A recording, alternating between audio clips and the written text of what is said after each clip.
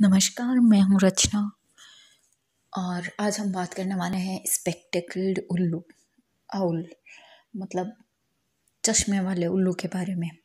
इसका नाम चश्मे वाला उल्लू, इसकी सफ़ेद चश्मे नुमा फ्रेम के रूप में उगे हुए पंखों की वजह से पड़ा है, जो आँखों के सहारे सहारे उगे होते हैं।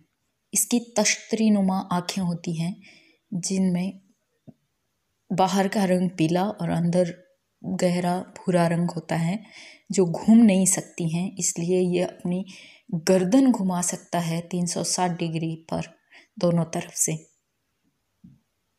इसकी तश्तरी नुमा आँखें चॉकलेटी भूरे रंग के पंखों से घिरी होती हैं और उसके बाद वो चश्मे जैसे सफ़ेद पंख फ्रेम के रूप में उगाते हैं, जो धीरे धीरे उगते हैं।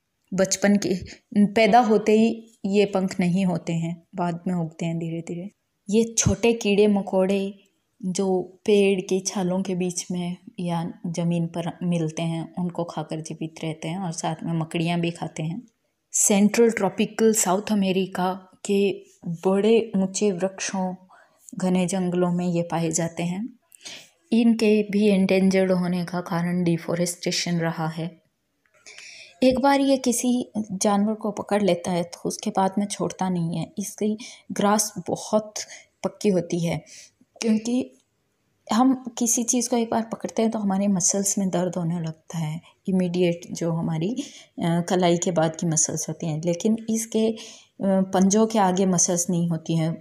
पंजों के आगे जो मोड़ होता है मतलब घुटना होता है, उसके आगे ही मसल्स होती हैं। तो नीचे मसल्स नहीं होने की वजह से इसको बिल्कुल पेन नहीं होता और इसकी ग्रास और ज़्यादा मज़बूत हो जाती है। इसकी आँखें, इसके सिर का दो तिहाई हिस्से में होती हैं। अगर इंसान अपनी गर्दन को पूरा तीन सौ साठ डिग्री घुमाना चाहे तो शायद उसकी गर्दन टूट जाएगी या फिर ब्लड वेसल्स ब्लॉक होने की वजह से वो ख़त्म हो जाएगा।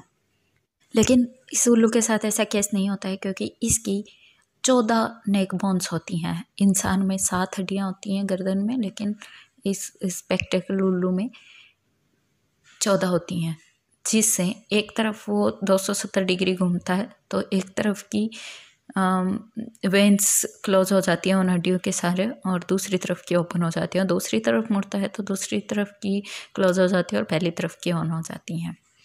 इवन जिराफ में भी सात हड्डियाँ होती हैं। एक लोथ की स्पीसीज है उसमें और इस उल्लू में इंसान से ज़्यादा हड्डियाँ होती हैं गर्दन में। रात को इसकी आँखें गहरी दिखती हैं और जैसे जैसे सूरज ऊपर चढ़ता है वैसे वैसे हल्की दिखने लग जाती हैं। अच्छा दोस्तों आपको चश्मे वाले उल्लू स्पेक्टेकल डाउल के बारे में जानकर मज़ा आया होगा। अगली बार किसी नई चीज़ के साथ मिलते हैं। धन्यवाद।